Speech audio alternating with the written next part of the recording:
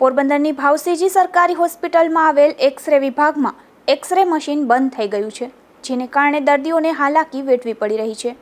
આ બાબતે સામાજિક આગેવાન દ્વારા હોસ્પિટલના તંત્રને રજૂઆત કરાઈ છે. પોરબંદરની ભાવસીજી સરકારી હોસ્પિટલમાં આવેલ એક્સરે વિભાગમાં તાજેતરમાં એક એક્સરે મશીન ઉપલબ્ધ કરવામાં આવ્યું હતું. પરંતુ આ એક્સરે મશીન કોઈ કારણોસર બંધ થઈ જતા હાલ એક્સરે માટે માત્ર એક જ મશીન કાર્યરત છે. જેથી દર્દીઓને એક્સરે માટે કલાકો સુધી રાહ જોવી પડે છે.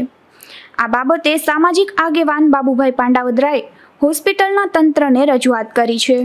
હોસ્પિટલમાં જે અત્યારે ડૉક્ટરોની કામગીરી સારી હોય, ઓર્થોપેડિક ડૉક્ટર પણ હોય, અમુક અકસ્માતના દર્દીઓ આવતા હોય, અને એક્સરે મશીન આજે જે નવું હમણાં વસાહત કર્યું તો એ એક્સરે મશીન ત્રણ દિવસથી બંધ છે.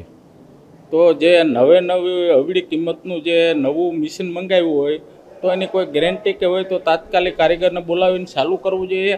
અહીંયા ગરીબ દર્દીઓ આવતા હોય અને બહાર કોઈ ડિજિટલ એક્સરે કે પડાવવું હોય તો પહોંચ થતું ન હોય.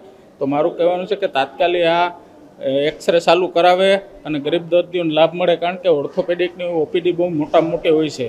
અને જૂનું મશીન છે એ વારંવાર ગરમ થવાથી એક્સરે ઓછા નીકળે છે. અને નવા મશીનની અંદરમાં તાત્કાલિક એક્સરે નીકળે છે.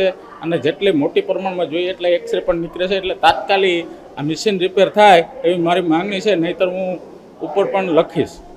હોસ્પિટલમાં હાલ દર્દીઓની સંખ્યા વધુ હોવાથી તેમજ એક્સરે રિપોર્ટ માટે દર્દીઓનો ધસારો વધુ હોવાથી દર્દીઓને ભારે મુશ્કેલી વેઠવી પડી રહી છે.